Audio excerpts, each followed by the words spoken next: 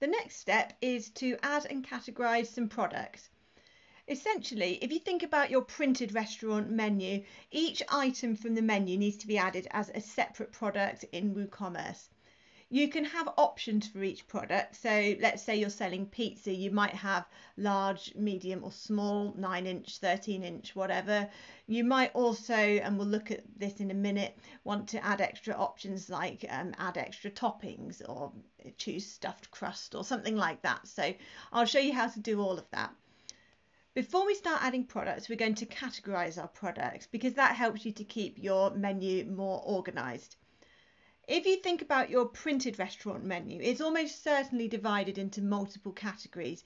You might have sections for starters, mains, sides, drinks, kids, whatever. So that's probably how you'll want to structure your online menu as well. To do that, you go in the WordPress admin to products and then categories. And you want to add all the different categories. Uh, you can see that I've added some here, starters, mains and desserts, and I'll show you how to do some more as well. Let's add a sides category. So I type sides as the name and then keep the slug fairly self-explanatory like size lowercase. That just affects how it appears in the address at the top of the website. And then add new category. That will then appear in a minute as you'll see when you create your product so that you can categorize them. Now we'll add our first product. So we'll go to products, add new, and I'm going to add a pepperoni pizza. I'm going to add a description.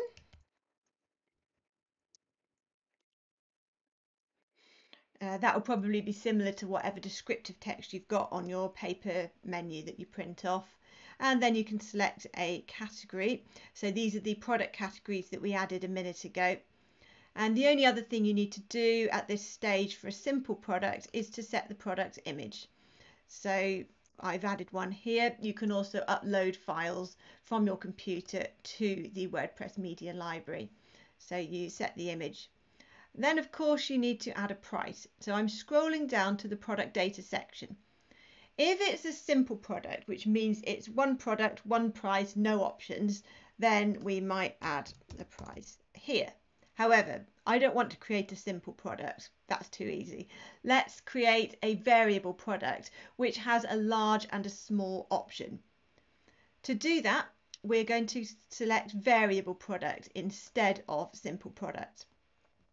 And then we go to the attributes tab and you can if you want to be able to group products um, by attribute for whatever reason then you might want to create them globally. It can doing it globally can also save you time to be fair. So if you just um, set them up globally you can then easily select large and small for example uh, here. But I don't have any global attributes so I'm just going to add them for this product. So you can either do it here or just on the individual products. So I'm going to go add and I'm going to call it size.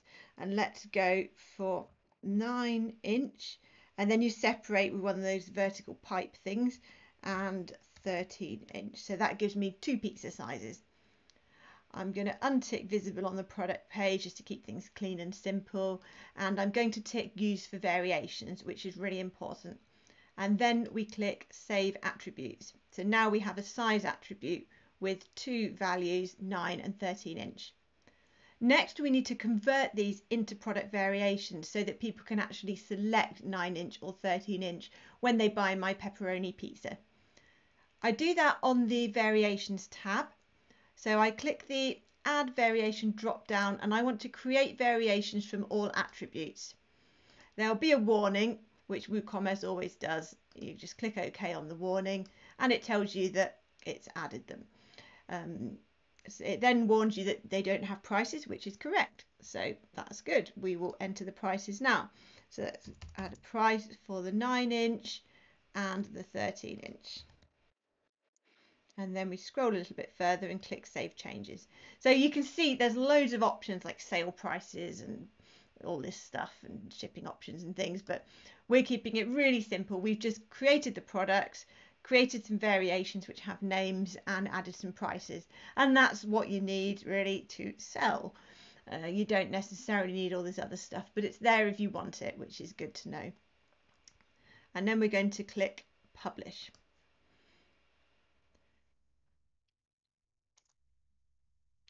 So that's how you add a choice of options, like a drop down where you can choose size.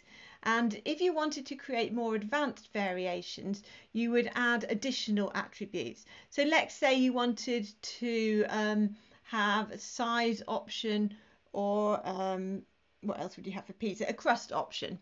So you might have a size drop down and you might also have a crust style where we have Italian crust or we have deep pan and that'll do.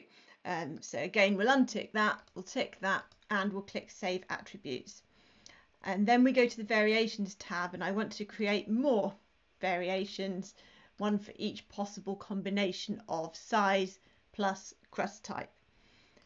So WooCommerce has now added all of those. So for each of my options, I've got the 9 inch with Italian or deep pan, and I've got the 13 inch with Italian or deep pan. And I don't actually need the ones I created a minute ago, so I will just delete those. And then I need to make sure everything's got a price.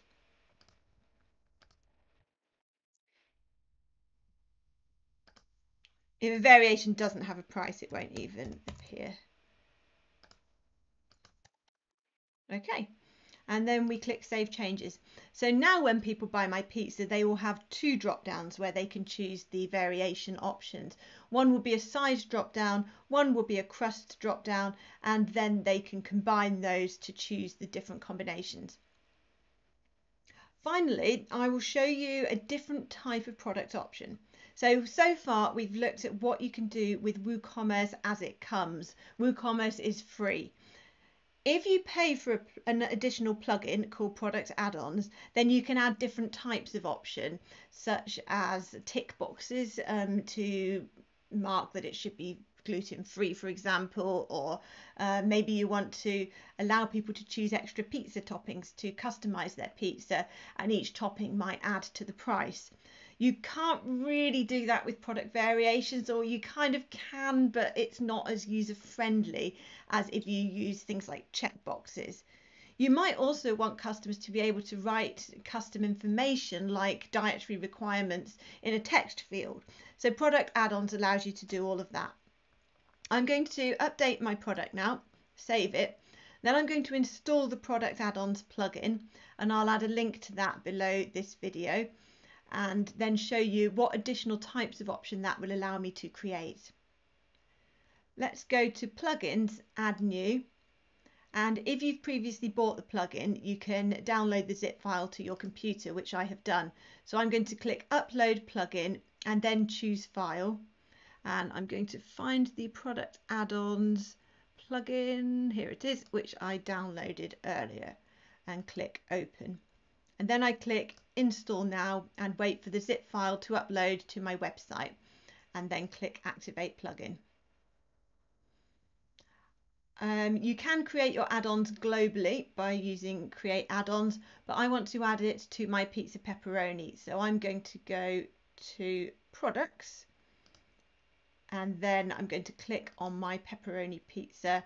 And I'm going to show you what the add-ons plugin can do that variations can't and that's really popular for restaurants because of the need to have checkboxes and other types of option that um, so let's add a field.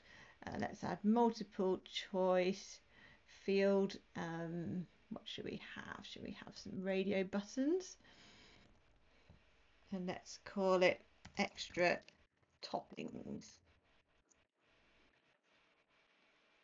Um, you can make it a required field or you don't have to. So let's say double cheese. And that's an extra one. And let's add another option, which is gluten free, which might be an extra 50 or something. So we'll add those in. You can also add other add-on types. So here, let's do some checkboxes now. Actually, it would have been better to use these for checkboxes. Um, instead of radio buttons. So Let's go for checkboxes for that and then let's add a short text field here. You can choose what they put in, but for a restaurant probably you just want a, say a birthday message. Don't know how you do that on a pizza, but never mind. If someone wants to put a birthday message on it, they can. So that will add a text field. So as you can see from all of these options, um, the product add-ons plugin has a lot more options. You could even use customer defined price to allow the customer to add a tip. So if you do that, then you could say add a tip and then that will add a box where the customer can add a tip uh, for that product and do it that way. You might actually want to do this to create a completely separate tip product, uh, which you would encourage everybody to buy. So there's lots of options that you can use. Variations are pretty good if you want people to choose from drop downs, and add ons are good when you want other types like checkboxes. Now you've done that, I'm going to stop the video and add all the rest of my products, and I'd like you to do the same on your own website. And then we will come back for the next lesson in which we're going to start creating food order forms for our website.